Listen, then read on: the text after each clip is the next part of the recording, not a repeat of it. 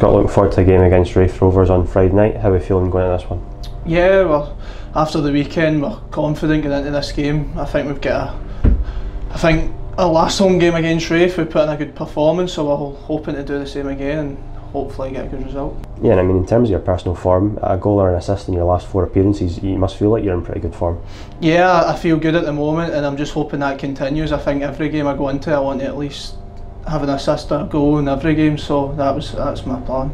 Yeah, and obviously there's lots of permutations based on what happens elsewhere, but is the focus on ourselves and making sure we do the business? Yeah, we just want to get three points and get over the line and come the end of the game see where, where we are in the league.